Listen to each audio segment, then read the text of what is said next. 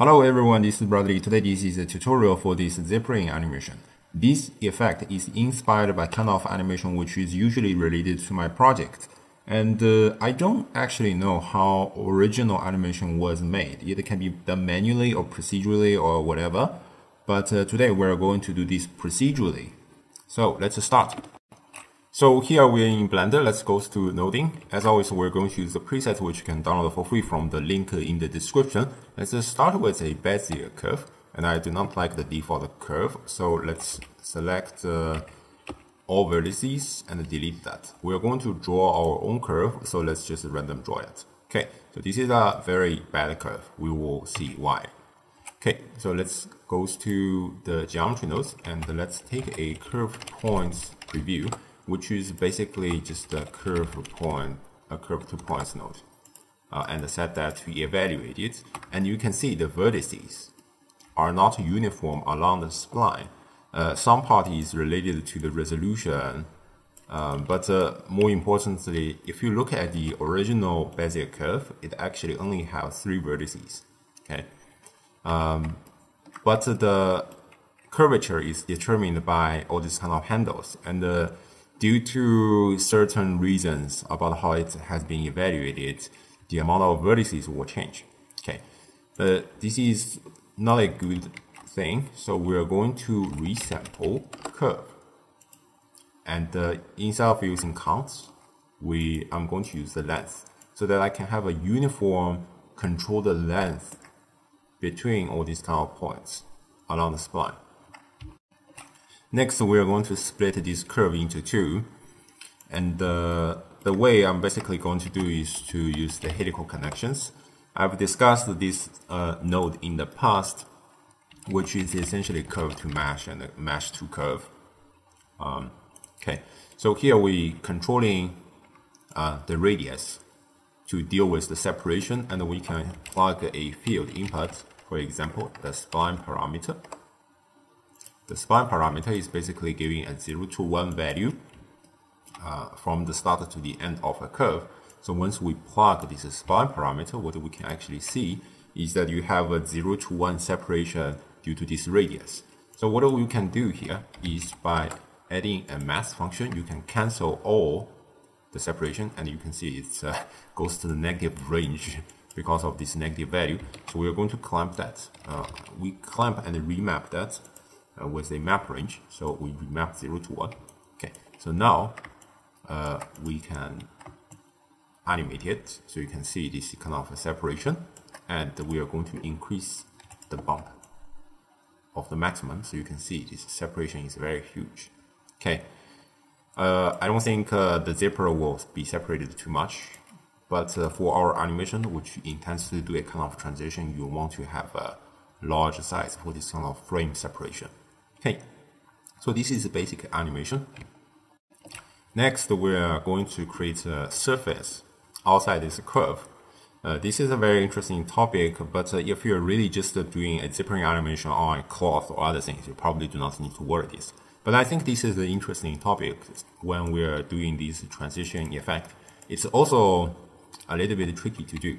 So, uh, in order to create a surface, from this curve, we basically to extrude the mesh. But you also realize we're working with curve, this is working with mesh, so we need to curve to mesh. Okay. And we plug the mesh into extrude the mesh, you realize there's no effect. Okay. Uh, one thing I realized is uh, we need to split into two, but this is a triplet. So we change the iteration into two. Okay. And uh, However, we manipulated this offset scale does not really work because it's working on the face right now. We are working with edge. So now it starts working, but the result is not ideal. This is uh, uh, due to several reasons. We are going to deal with that one by one. First, we are going to invert a normal of uh, one uh, curve if you hover your mouse into the offset, you will realize it's by default using normal. Uh, that's why they're extruding in the direction of normal. But uh, we want uh, this two curve to extrude at a different direction. So the second curve should go outside. Okay. Uh, by doing that, we need to do a kind of a switch. So we have a normal and we need to do a switch. So switch true or false. Uh, one is positive, the other should be negative. So this is the switch. But uh, what kind of parameter we should put into this switch? We're going to distinguish whether this curve is the first or the second curve. Okay. And uh, in computer graphy, we have an index.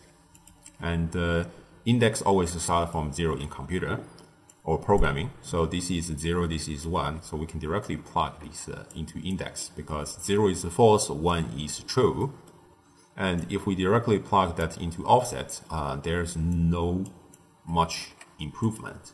The reason uh, is that uh, we were discussing about uh, the index of a curve. But uh, once we do this curve to mesh, there's no curve. We can obviously change some other methods, but uh, what I'm going to do is to capture attribute when it's still a curve. So we capture a vector. So capture a vector and replace the linkage. So this is one part. You can see it becomes more uniform. And we're going to capture again about the index, which is an integer. And we're going to capture the spline index and plug that into switch. So now you can see it starts work. And uh, since everything is controlled again by this remap 0 to 1, you can see this effect of zippering. Okay. Uh, if you want to enlarge the surface, then you can take another scale to enlarge that. But now, you also realize that there will be some intersection because every point is extruding on their own normal. So sometimes when they intersect, the computer gets a little bit confused um, how to deal with this geometry. So finally, you end up this kind of z-fighting uh, weird artifact. Okay. To resolve that, it's very easy. Uh, you just give kind of uniform the normal instead of every point giving a different normal. So to average all the normal out, we basically just use the spline domain so that they are choosing the average normal for this spline to extrude and you can use that scale to control the size. Okay. And uh, now you can actually get with a camera and uh, try to move your camera and increase the spline uh, length and uh, size of whatever stuff to make this animation. But this is zippering, so we also need to deal with the units onto that, in addition to the surface. Before we actually create a unit, I'm going to uh, the beginning of the node tree to put the length into the group input and put this add value to the group input so that I can control uh, the amount of points using this length procedurally in the modifier panel and uh, the to animate this setup in the modifier panel so that I do not need to go back and forth in the node tree. And uh, within this node tree, previously we've already made this surface. We can select all the nodes and control J to frame it. And then we look at our curve points being generated earlier we can use these points to instance a cube. So we point instance a cube. And now you can see this cube do not have its alignment towards the spline. Let's take a combine XYZ to change the dimension so that we can make it more like kind of a zippering function. So now you can see they do not have the alignment.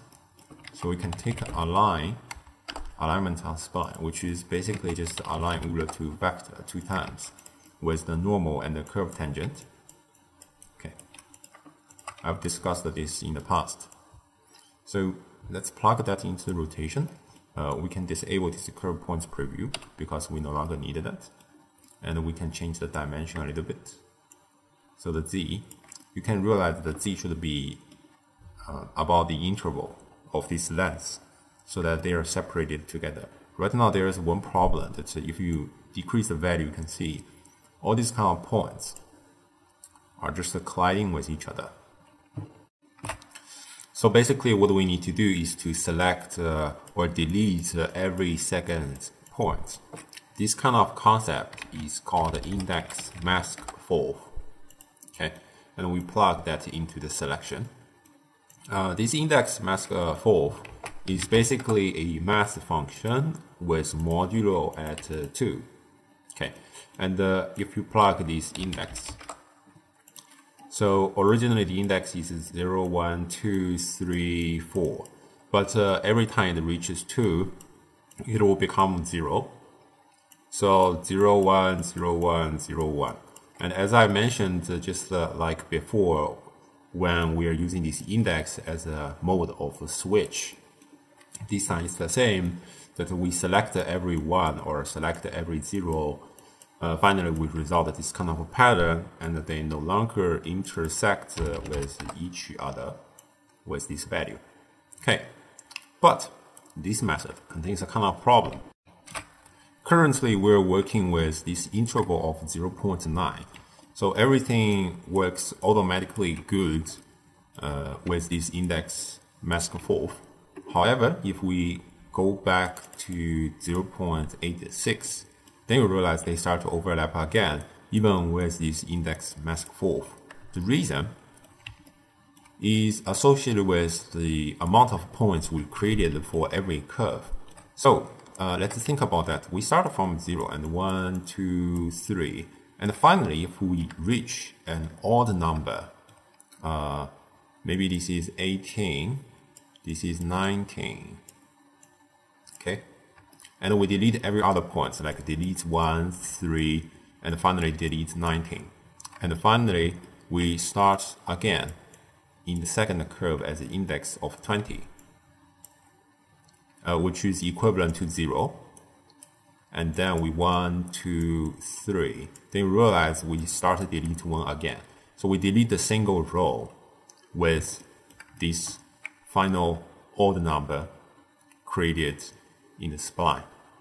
Okay, that's why it happens. Alternatively, if this is 20, then it starts at 1. So if we delete other points, it's not the same, it's not the same row. Knowing the reason of this issue, we can make this entire setup more procedural. So let's go back at the beginning in which we have this domain size and uh, we can know the total point count of our curves. And we are going to distinguish whether this point count is an odd number or even number. And uh, previously we've already discussed the functionality of modulo. And uh, we'll basically use the same principle so that uh, every time this point count is an even number, then it outputs 0. Every time it's an odd number, it outputs 1. Okay, so we can take an equal if it equals to 0, then it's an odd number.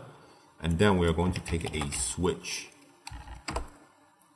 Switch of an integer to offset or alternate the point that we delete. So if you take this offset, then you can see the alternating the points. If we directly plug this switch into the offset and we plot the true to be 1, then you realize it's not a helping anything. The reason is that we're only inputting a single constant so that if I offset, everything will be offset. So here I'm going to offset just a uh, single spline. So we take a spline info node, uh, which is outputting the spline index. So for example, this is the 0, this is 1, we plug this spline index. So now everything works. Uh, this spline info essentially is the index to interpolate the domain interpolate domain at uh, this spline domain. This is very similar to the capture attribute that we done earlier. The only difference, uh, or the only reason why I use capture attribute here instead of interpolate domain, is that the in this step, the curve is to mesh, so we no longer have this spline domain in a mesh object. Okay, so this is the difference. Okay. However, uh, if you change the length, you will still realize they are colliding to each other. The reason is that uh, actually this functionality is always outputting true. The reason is that uh, even for a single curve, it's outputting an odd number, but if you plus the second curve, it's always a even number. So instead of using the domain size to count both spline, we're going to use the spline length into the modulo and we delete domain size. So that uh, no matter how you change the length, they will never collide to each other ever again. So now we can finalize the relationship between our interval and uh, this cube size. We plug that into Z. So when we increase the length, the, the zippering unit will, always, will also increase its size. Uh, if you are not using this simple cube as a, the zippering unit, you can plug that into the scale of your instance. Uh, it's basically working the same. So basically this is the idea. The rest uh, is uh, just uh, controlling and animating this animation. Let's take a join geometry to join back our surface. And uh, talk about the parameters we've already discussed already, like uh, we have this length and we have this value to control or animate it. Of course, you can see there will be some flaws when it opens too wide up. This is simply because the curvature of this curve uh, is making some uh, units colliding with each other or even z-fighting weird rotation. But there is uh, no real good way to resolve that, in my opinion or at least that I don't want to go too much deep uh, to resolve the problem. Uh, the best way to resolve that is just to draw another curve. If it's a straight line, you will never have this kind of problem anyway. Okay. Uh, another important thing is uh, the, everything being shown in the tutorial is just an example.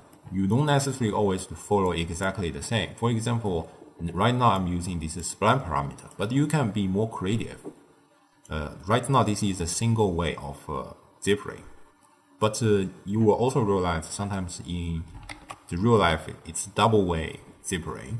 So what you can do is you add just a proximity fold, uh, which is the equivalent that you're creating a, a sphere in the middle to center is one, the outside is zero. So something like that. So you increase the scale. So you can see it opens up from middle. And of course you can use uh, uh, this empty to control the size so that you increase, decrease, and you can for animation to open that up. There are many different ways to play around. It looks like a mouse now. But anyway, okay. So basically this is the idea. I hope you enjoyed this tutorial. I'll probably see you next time. Bye bye.